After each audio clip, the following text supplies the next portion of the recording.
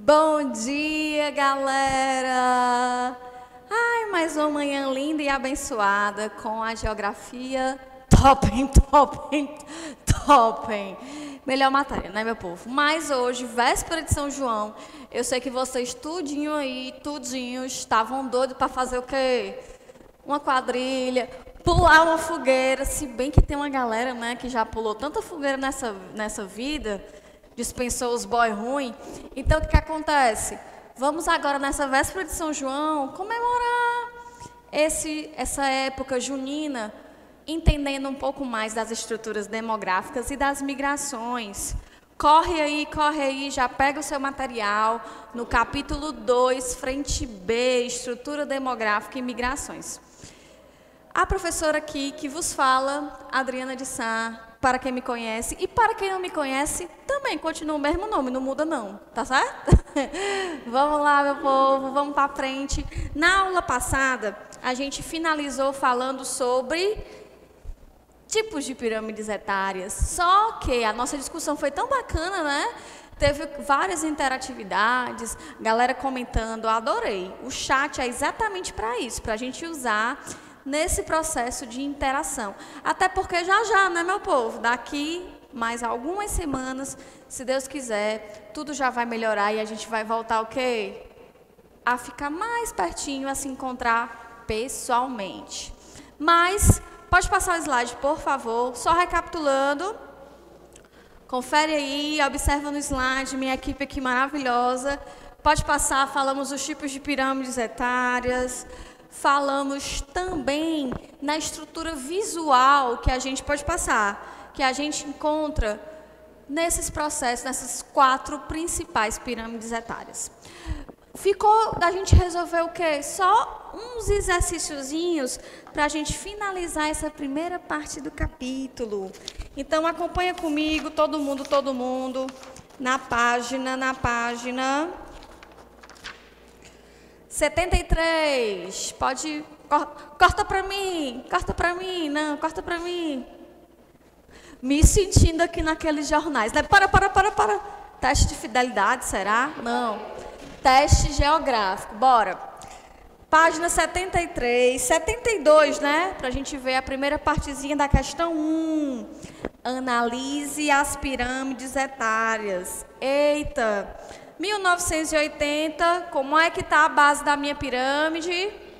Lembra, quando eu falo base, eu estou falando da quantidade de nascimentos, eu estou falando da população jovem. População jovem, ela tem, ela está compreendida em que idade? De quanto a quanto? Muito bem, de 0 a 19 anos. Vocês são muito bons a gente encontra o quê? Uma expressividade, né, na base dessa pirâmide de 1980. 1990, eu já tenho o quê? A minha base da pirâmide, ela começa a se estabilizar, mas eu tenho no corpo, na parte da população adulta, já aumenta a sua concentração. População adulta, que eu posso dizer que é de que idade a que idade, hein? Vê se vocês lembram. Exatamente de 20 a 59 anos. Perfeito. De 20 a 59 anos eu posso dizer que é a minha população o quê? É a minha PEA. Minha PEA, professora? Não, é minha PEA. População economicamente o quê? Ativa, exatamente, ou supostamente, né? Dependendo da configuração das próprias vulnerabilidades sociais, também questões relativas ao próprio desemprego, mas já já a gente aprofunda nisso. Vamos analisar a próxima pirâmide, anos 2000 da população brasileira. Vamos lá. Os anos 2000 eu já tenho o quê? Uma retração da base da minha pirâmide. O que quer dizer retração? Diminuição. E mais uma vez eu encontro o quê? O corpo da minha pirâmide, ó, crescendo e agora eu já tenho o topo se modificando, o ápice da pirâmide, o topo. Isso quer dizer que a minha população acima de 60 anos, os chamados idosos, eles já têm o quê? Já estão aumentando a sua expressividade. Perguntas? Gente, 72 e 73, questão 1. 72 e 73, porque as duas primeiras pirâmides estão na 72. E a questão continua na página 73. Tranquilo? Foi, foi, foi. Todo mundo pegou? Corre. Vamos lá. Então, analisando essa pirâmide etária brasileira, a gente já sabe que ela está no processo de quê? De tran... Professora, quer dizer que ela está se trancando. Não, ela está no processo de transição. E em 2020, a nossa projeção atual, provavelmente o censo né, do IBGE estaria dizendo para a gente, mas teve esse atraso por causa da pandemia, que a nossa população ela está cada vez mais o que envelhecendo. A gente ainda tem uma grande concentração populacional no corpo da pirâmide, que são os nossos adultos ou o nosso pé. Mas o topo da nossa pirâmide ó, já está concentrando uma maior quantidade de pessoas. Detalhe do detalhe do detalhe do detalhe do detalhe ao analisar essa projeção da pirâmide de 2020, a gente observa maior concentração de idosos, sendo homens ou mulheres. Comenta, curte, compartilha, dá seu like. O que é que vocês acham? Analisa, analisa. Responderam aí? Ai, professora, eu acho que é isso, mulheres. Nós encontramos ainda uma vulnerabilidade nas taxas de mortalidade concentradas nos homens. A gente vai ver já já, mais à frente no capítulo, por que, que isso acontece. Então, eu tenho o quê? Na projeção de 2020, eu já tenho a, eu tenho a minha base cada vez mais retraindo, diminuindo. Eu tenho o quê? A minha quantidade de adultos mantendo o seu crescimento e eu tenho um aumento significativo no ápice da minha pirâmide, no topo, que é a população que mais envelhecida é a nossa população de idosos, que hoje em dia a gente não chama mais nem de terceira idade, né, meu povo? A gente chama de melhor idade. Vamos ver o que ela está perguntando aqui. Assinale alternativa correta. Letra A. A população brasileira está tornando-se cada vez mais jovem. Vocês acham que essa é a correta? Ai, professor, eu acho que é, porque tananã, tananina, a gente está tendo cada vez mais filhos e tal e tal, a gente não tem uma expectativa de vida bacana. E só tem jovem mesmo e é isso. É isso que acontece, segundo essa análise? Não, não, não, não, nem a pau juvenal. O que está acontecendo é exatamente o contrário, a gente observa um envelhecimento, a gente observa uma proporção do aumento da população idosa muito maior do que a população jovem. Tanto é que a quantidade de nascimentos, em vez de aumentar, nem que seja discretamente, ela está é, retraindo. Letra B. A população brasileira está envelhecendo ao longo dos anos. Essa é a correta? O que é que vocês acham? Comentem. Exatamente, essa é a correta. A gente vai observar uma concentração, um percentual, uma taxa de crescimento bastante elevada. Isso quer dizer hein, que no nosso Brasilzão eu estou tendo que algumas melhorias, né? Se a população está envelhecendo ao longo dos anos, quer dizer que o meu sistema o de saúde, educação e também econômico está sofrendo uma elevação. O meu IDH está melhorando. Com isso, aumenta a minha expectativa de vida. Então, a resposta da primeira questão é letra B, de bacana, hein? Beleza? Alguma dúvida? Posso passar para a próxima? Questão 2. Com base na evolução da pirâmide etária do Brasil em 1960, anos 2000 e 2010, e nos, nos seus conhecimentos sobre dinâmica populacional, considere a alternativa a seguir. 1960 eu tenho uma pirâmide bem pirâmide, né? Base bem alongada e eu tenho o quê? O topo da minha pirâmide, ó, estreito. Nos anos 2000, eu já tenho o quê? Um processo de transição. Eu já tenho o corpo da minha pirâmide quando, como sendo a maior expressividade. E detalhe, eu tenho uma discreta retração na minha base. Já em 2010, ó, a minha população idosa já aumenta consideravelmente. O meu topo ele fica até meio que desproporcional, né?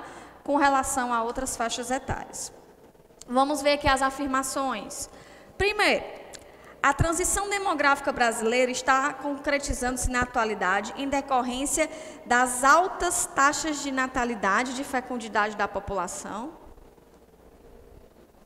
Hã? Meu povo, se eu estou num processo de transição demográfica, quer dizer que as minhas taxas de natalidade, as minhas taxas de fecundidade, elas estão ó, diminuindo. O que vai influenciar na transição demográfica é que nós estamos vivendo mais, aumento da longevidade ou aumento da expectativa de vida. Então essa opção ó, não está correta, não é uma afirmativa verdadeira. 2. A pirâmide de 1960 apresenta um aspecto triangular, indicando que o percentual de jovens no conjunto da população era alto nessa década. Exatamente, eu tinha uma alta taxa de natalidade, mas a minha expectativa de vida, ó, lá embaixo, eu ainda estava em processo de desenvolvimento com relação às questões sanitárias, com relação ao IDH em geral. Então, ó, a segunda questão, a segunda proposição, ela é verdadeira. Terceira proposição. O envelhecimento de uma população representa a diminuição proporcional da população mais jovem do país.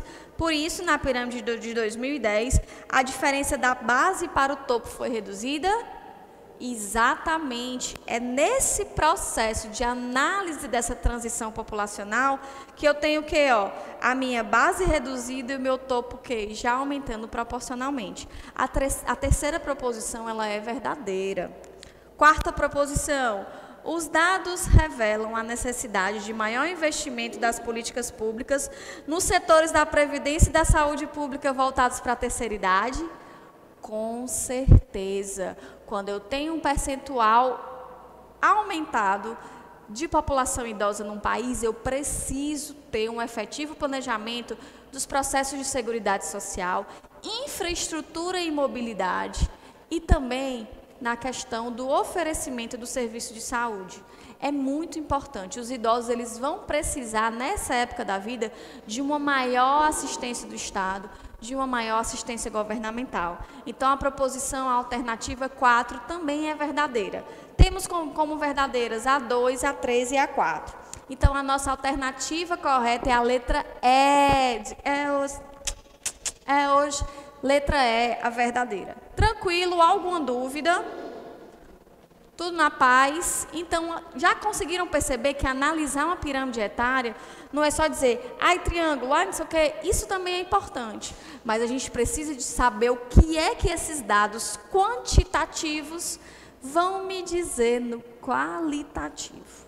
Qualitativo o quê? Qualificar esse processo social e econômico das populações. Vamos então, meu povo, para a próxima Página, página 74, acompanha comigo. Agora eu estou chique, eu estou passando os slides. Nossa, que babado. Vamos lá, gente. Vamos observar a distribuição etária. O que é distribuição etária? Lembre-se que a minha pirâmide etária, ela vai me dizer duas coisas. A primeira, a distribuição por gênero, e a segunda, a distribuição por faixa etária. Vamos analisar, meu povo, essa pirâmide etária que eu coloquei para vocês no slide, uma diferença de 2012 até 2018. Eu vou encontrar esse, é, o que tem os pontinhos, certo? Em 2012, e o que estão de laranja e de verde de 2018. Observa comigo que eu já vou ter um aumento em alguns setores dessa pirâmide etária e vou ter uma efetiva diminuição em outros setores. Eu encontro em 2012 a minha taxa de natalidade aumentada e eu encontro em 2018 a taxa de natalidade ó, já sofrendo uma queda. Eu encontro na, no setor de, de adultos, né? Também, em 2018, eu tenho um, efetivo aumento, mas eu tenho uma retração de adultos em algumas faixas etárias, principalmente na faixa etária entre 20 a 35 anos. O que é que isso quer me dizer? Isso quer dizer que as pessoas que antigamente, na década passada, estavam nessa faixa etária, elas ascenderam, elas estão cada vez mais subindo para o topo da pirâmide. Isso quer dizer que elas estão vivendo mais. Observa no censo do IBGE, o dado que tem no livro de vocês, na página 74, que fala que o Brasil ele tem 68 5, isso dados de 2010, porque teríamos mais dados agora em 2020 e ainda estamos aguardando os dados do IBGE. Fala que o Brasil tem 68,5% de sua população em idade economicamente ativa. Isso quer dizer entre 15 e 64 anos de idade. Vale, meu Deus! Acabei de dizer que a população economicamente ativa não era, era a faixa dos adultos, mas calma. Lembrem-se que essas proporções são variáveis. Aqui no Brasil, a nossa faixa de população economicamente ativa vai variar dos 15 até os 64 anos. Isso quer dizer que essas pessoas estão que dentro de um patamar que podem servir à sociedade como mão de obra pelo Brasil se encontrar essa grande quantidade de população, quase 70% da população, dentro desse, dentro desse espectro populacional de PEA, população economicamente ativa, isso quer dizer que no momento nós estamos numa janela de oportunidades. Gente, o que é que isso quer dizer efetivamente? Que se nós conseguimos aproveitar essa mão de obra de uma maneira eficaz, nós vamos ter um desenvolvimento territorial. Só que, calma, calma, calma, calma, aproveitar essa mão de obra não é só colocar ela para um trabalho desmerecido ou para um chamado subemprego. É para qualificar a população e conseguir que, com que ela ocupe lugares onde se tem uma projeção de emprego e qualidade de vida. Não adianta só eu, ah, eu vou dar emprego para todo mundo, ah, que legal, todo mundo empregado. Mas no emprego que você trabalhe 12 horas por dia e ganhe meio salário mínimo, não tem condição. O que é necessário é que se desenvolva cada vez mais setores que possam oferecer empregos que proporcionem a qualidade de vida. Se proporcionar qualidade de vida, eu vou ter o quê? Diminuição da mortalidade, aumento da, longe, da longevidade. Além disso, eu vou ter a população por mais tempo, aonde? Aonde? É, em, dentro das instituições de estudo, eu vou ter uma maior quantidade de anos de estudo por pessoa. Isso vai aumentar o nosso quê? O nosso quê? IDH, Índice de Desenvolvimento Humano. Além de ser chamada de janela da, da oportunidade, a gente pode chamar esse estágio do Brasil, onde tem uma grande concentração da sua população na área economicamente ativa, eu posso dizer que é uma razão de dependência positiva. Por que, que eu posso dizer que é razão de dependência positiva? Porque eu tenho a maior quantidade da população ó, trabalhando, gerando riquezas, e eu tenho uma menor quantidade da população nas zonas de dependência. Quais são as zonas de dependência? Comentem, comentem, comentem. Zonas de dependência populacional. O que é que vocês acham? Qual é a parte da população que depende do Estado ou depende de outra população, de outras pessoas? Bora, gente. Acorda, mancho. Vai, acorda. Comenta. Cri, cri, cri. Tá bom, então vou responder. Nós vamos encontrar uma menor taxa da população aonde? Em jovens de 0 a 15 anos, no caso de uma perspectiva nacional. Então essas pessoas ainda dependem o quê? De iniciativas do Estado ou até mesmo de outras pessoas que estão dentro do, do, da faixa etária economicamente ativa. E eu tenho os idosos. Os idosos também vão depender muito mais de iniciativas do Estado, de políticas públicas e muitas vezes também ainda da população na faixa de economicamente ativa. Então, nós estamos o quê?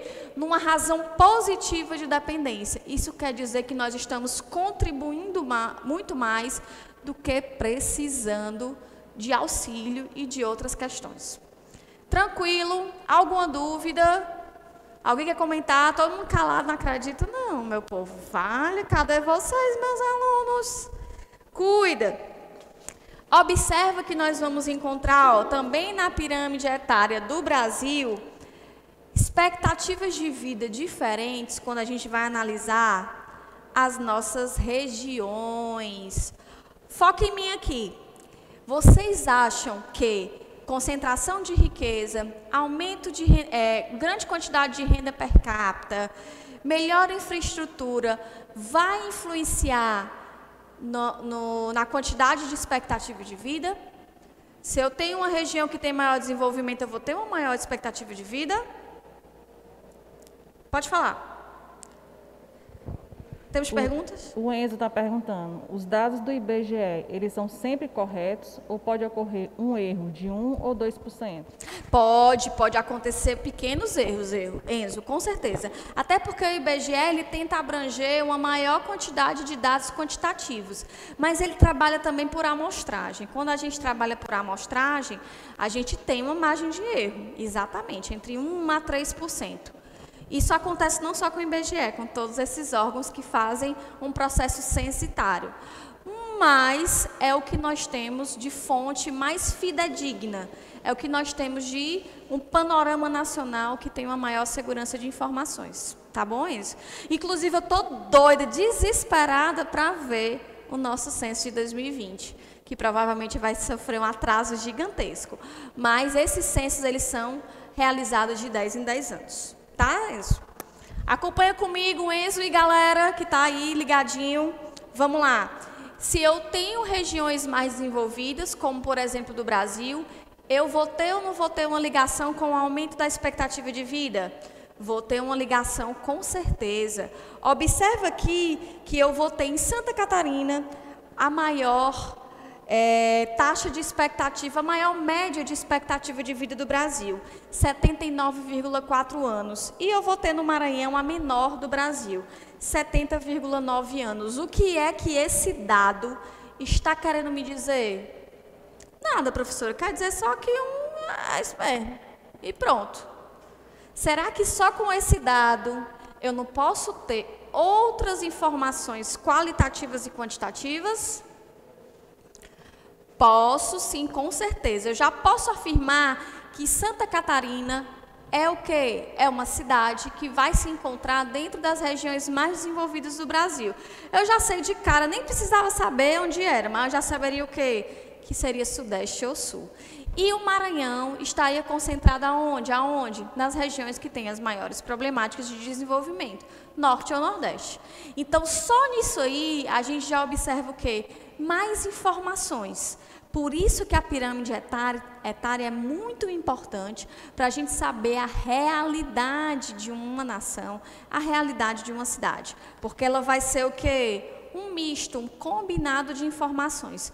Por isso que é uma das competências que nós precisamos desenvolver, interpretar esses dados. Eles não estão só dizendo o que está aí no gráfico, que está na pirâmide. Ele está dizendo outras informações adjacentes. Beleza? Tranquilo? Aqui, meu povo, ainda na 74, nós vamos observar que eu tenho um desenvolvimento 1980, 1990 e os anos 2000. Mas essa análise de que o Brasil está ficando cada vez mais velho, a gente já viu na primeira questão da nossa página 72. Então é só mesmo para o quê? Para ratificar, para confirmar que o Brasil vem entrando nesse processo de transição. Meu povo, apesar do Brasil ter várias problemáticas, como ser um dos países mais corruptos do mundo, como ter uma maior concentração de renda, o Brasil ele investe em processos o quê? de estrutura sanitária, investe em pesquisas farmacológicas, desenvolvimento também dos setores de saúde. Então isso é um fator predominante para que a gente possa ter o quê? um aumento da expectativa de vida. Outra questão importante, que a gente vai observar mais à frente, é a quantidade de pessoas que estão cada vez mais nas escolas. Então, se eu tenho uma população capacitada, uma população qualificada, essa população vai saber o quê? Gerenciar a sua rotina, gerenciar os seus próprios resíduos, ter um cuidado biológico com o seu corpo, com os seus hábitos muito maior. Então, com isso, o Brasil vem melhorando a cada ano. Beleza?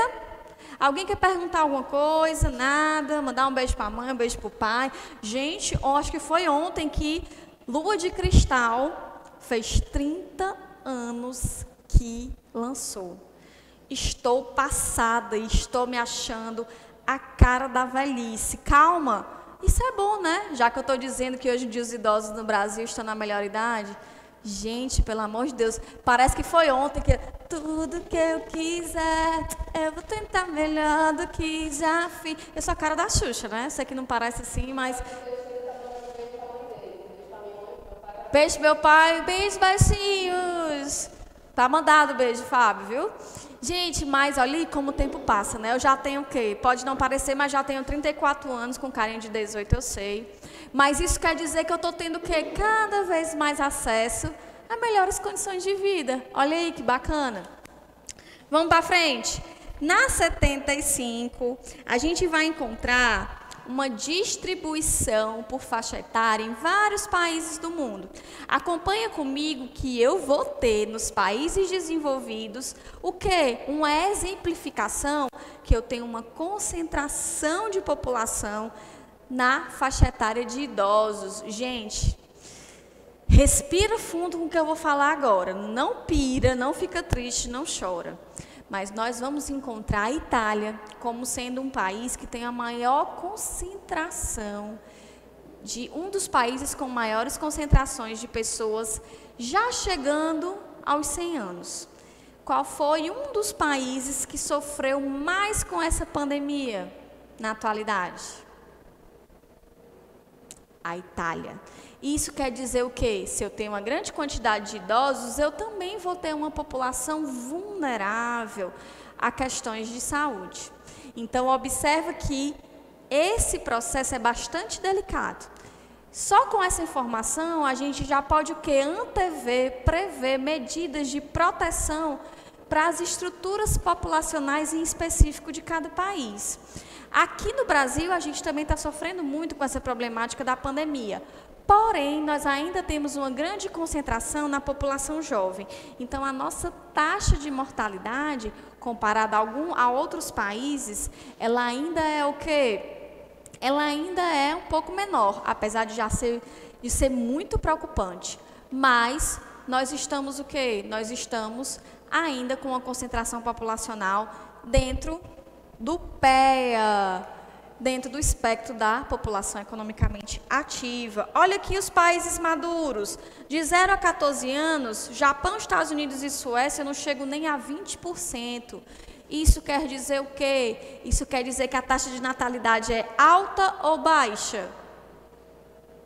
Comenta, comenta, comenta. Eu estou só olhando aqui para a equipe, aqui louca, desesperada para ter alguém dizendo, é baixa. Exatamente, é baixa. De 15 a 24 anos eu já tenho mais, é, uma menor concentração. De Baixa, show, Lara. De 25 a 54 anos, olha, eu já estou mediana. 55 a 64 anos, eu já tenho o quê? Uma retração de 65 ou mais, ó, eu tenho uma grande quantidade populacional. Gente, isso é bom? Isso é ótimo no sentido de analisar a longevidade. Mas observa que comigo, vale Jesus, de 15 a 64 anos, eu vou ter o quê? Uma concentração populacional economicamente ativa que já está o quê? Andando a passos largos para chegar na idade idosa ou na idade madura. Isso quer dizer que os grandes países que estão em processo de envelhecimento, que já são envelhecidos, que já são ditos de uma pirâmide etária madura, têm um processo problemático de mão de obra. Esses países precisam o quê? Se adaptar à sua realidade para conseguir ó, absorver essa mão de obra mais velha. Eu encontro isso no Japão, nos Estados Unidos, eu já encontro um processo de modificação, mas ainda é necessário uma grande quantidade de tomada de medidas para que a gente possa que, se acostumar que o mundo ele está envelhecendo. Observa o Brasil, país em transição. Eu já tenho o quê? Entre 25 e 54 anos, quase 44% da população. Isso quer dizer que nós estamos nessa razão positiva de dependência. Nós precisamos aproveitar essa oportunidade para melhorar o nosso desenvolvimento e também para aumentar a nossa geração de renda através de mão de obra qualificada, através de setores econômicos que tenham um, um real valor interno e também no comércio externo. E não ficar ó, trabalhando nessa sistemática de subempregos. Beleza? E países jovens, Bangladesh, Zâmbia e Nigéria. Olha aqui, ó. quase 46% concentrados de 0 a 14 anos. Isso quer dizer que eu tenho uma alta taxa de natalidade?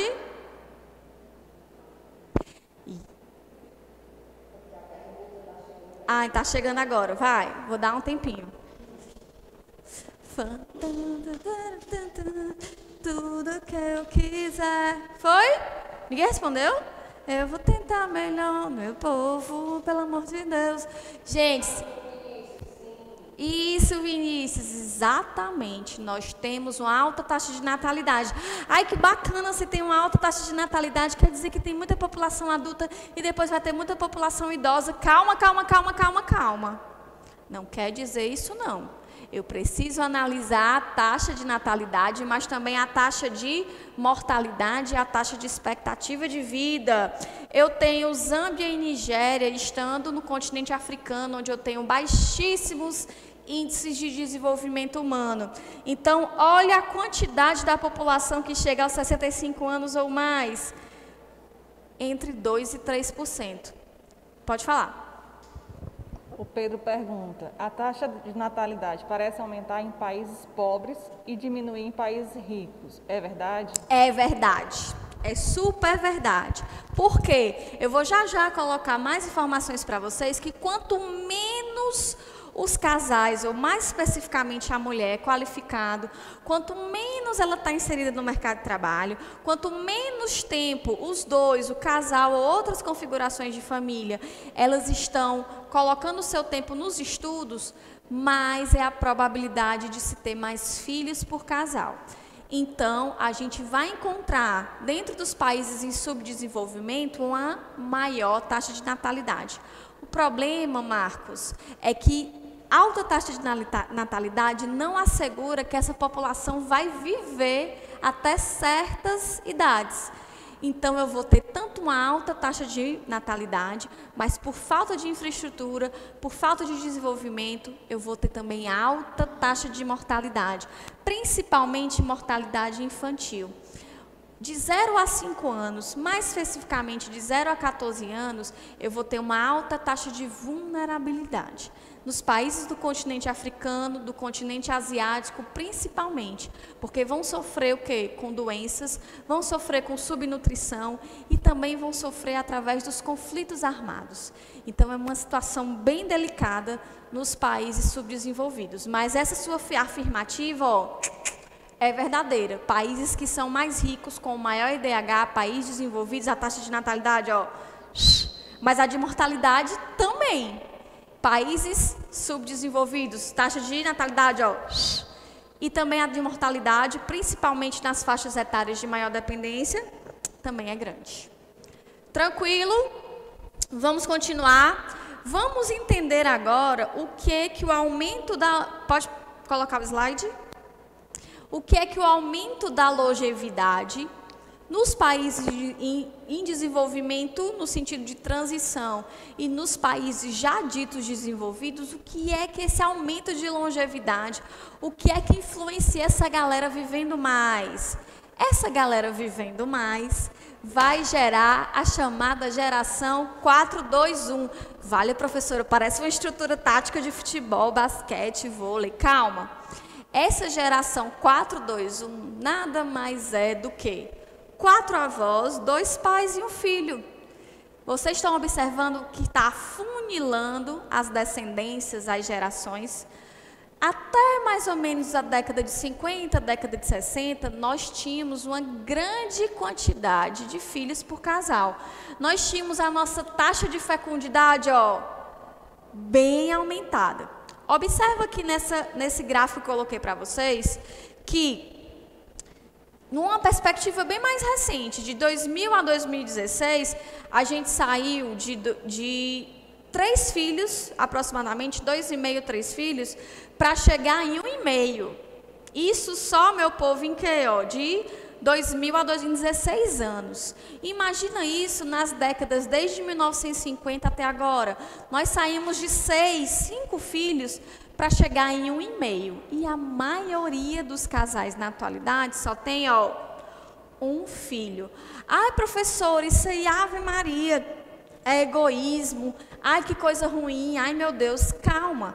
O mundo muda, a sociedade é mutável e a sociedade na, na atualidade é uma sociedade urbana, industrializada, é uma, cidade, é uma sociedade que tem um acesso muito maior a informações, principalmente também sobre contraceptivos, sobre outras configurações de família. Então nós estamos sofrendo o quê? No Brasil, uma retração grande na taxa de fecundidade. Temos perguntas?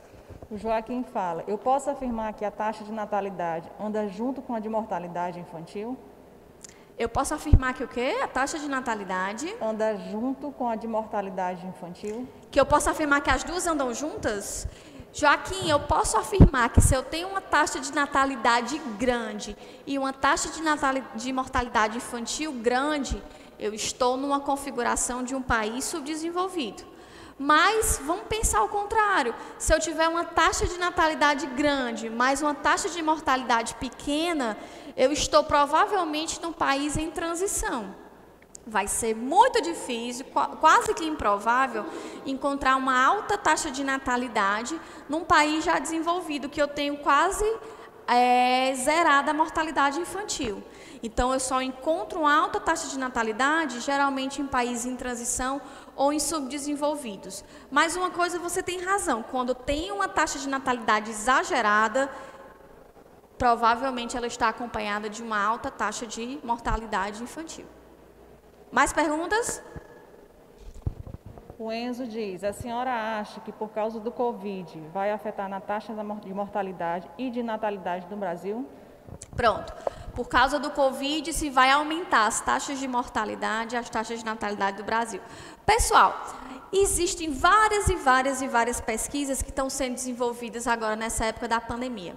Uma delas é que por causa do isolamento social, nós vamos ter um uma explosão populacional daqui a algum um ou dois anos. Por quê? Porque por, por ficarem mais tempo em casa, um pouco mais afastados do trabalho, é, até mesmo por questões de afetividade, mais união entre os casais, vão, vão ocasionar o quê? Uma maior quantidade de gestações no Brasil. Isso aí a gente só vai conseguir ver de acordo com pesquisas daqui desse ano para o próximo ano. Mas eu acredito que a taxa de natalidade, sim, ela vai sofrer, nem que seja discreta, um aumento. Com relação à mortalidade, nós vamos observar, se ainda perdurar por alguns meses, uma queda é, nas questões de mortalidade nos setores adultos, porque a gente observa que no caso do Covid, a população adulta, no momento, é a que sofre menos. Mas a gente vai observar um aumento da mortalidade no ápice da minha pirâmide etária brasileira. Então, eu vou observar, nem que seja discreto, porque a gente precisa analisar o volume total pela quantidade de óbitos. Quando a gente fizer essa razão, a gente vai encontrar, sim, um aumento de mortalidade na no ápice da minha pirâmide ou da categoria de população na faixa etária dos idosos. A questão, Enzo, é que não só o Covid, esse processo de pandemia, além do Covid, também agrava outras pessoas que já tinham algumas comorbidades. Essa é a preocupação principal da categoria idosa se, se é, contaminar porque o Covid pode matar, mas o Covid ele também pode aumentar comorbidades já existentes, como diabetes, cardiopatias, problemas vasculares. Então, a gente vai encontrar sim, inclusive já tem pesquisas sobre isso no, na categoria dos mais idosos, que nós temos o que? Um aumento, até mesmo para mortes em casa, um aumento para um aumento de mortes por essas comorbidades que estão sendo projetadas, que estão sendo aceleradas. Então eu acredito, eu, Adriana geógrafa, que daqui para 2021, 2022, nós vamos ver sim um aumento de natalidade e nós vamos ver um aumento de mortalidade, porém na categoria na faixa etária dos mais idosos. Infelizmente. Detalhe, viu, Enzo? Na categoria onde se tem também uma vulnerabilidade social e econômica. Então, a gente vai encontrar, infelizmente, uma concentração de óbitos e uma concentração de nascimentos também na camada mais pobre da população. E isso é que é bastante preocupante. Então, essa pandemia também está servindo para quê? Para a gente observar o quanto nosso Brasil ainda é desigual e o quanto a gente precisa melhorar. Não só nas questões de política, não só nas questões econômicas, mas também na questão de humanidade, de senso coletivo de se preocupar com o outro. Então, essa é uma oportunidade. É uma oportunidade para a gente, ó, a humanidade, se reinventar. Mas eu adoro isso. Por quê? Porque a humanidade ela é boa de se reinventar nas adversidades. Nos pós-guerras, nos pós-pandemias, é, nas pós-ditaduras. A gente tem essa característica de se unir quando o negócio aperta. Então, eu estou esperando para que a gente tenha esse levante popular de união, para que a gente possa sair dessa da melhor maneira possível e mais humanos o que é mais importante. Beleza? Pois bem, meu povo, falando ainda do aumento da longevidade dessa geração 421, a gente vai observar o quê? Que eu vou ter cada vez mais esse afunilamento da natalidade. A minha taxa de fecundidade no Brasil, não só no Brasil, viu? Eu coloquei aí apenas a título de exemplo, mas no mundo todo, principalmente nos países em transição e nos países já desenvolvidos, essa taxa de fecundidade, ó, cada vez menor. A não ser que eu tenha aquela última configuração de pirâmide etária, que é a configuração de uma população rejuvenescida, que são alguns países desenvolvidos que estão que, tentando incentivar a população a aumentar a sua natalidade, já vislumbrando para daqui a algumas décadas não ter uma defasagem no setor economicamente ativo. Tranquilo até aqui? Alguma dúvida? Tudo de boa? Observa que em 2019 eu coloquei essa tabelinha que a gente está no estimativo de vida de 76,6. Eu diria já 77. Mas isso vai depender da faixa etária e vai depender do gênero que a gente vai analisar. Mas calma, calma, calma, calma. Isso é o assunto para a nossa próxima aulinha. Eu vou agora dar um intervalo para vocês de 15 minutinhos Ó, oh, 15 minutos, hein? É o tempo de você chegar, dar um abraço na mãe, um abraço no pai, um abraço numa pessoa que está com você, um tio, uma avó, e dizer assim: ai, que legal, o mundo tem jeito, o mundo tem, esperança. Tem sim. E nós, vocês, com o desenvolvimento desse pensamento crítico, é que são a esperança de todo o planeta. A gente se encontra já já para continuar esse nosso capítulo 2, tá bom? Beijo, volto já em 15 minutos.